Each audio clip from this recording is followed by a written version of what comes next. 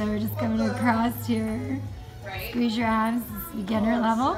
Breathing in through your nose, out through your mouth, getting lower abs, and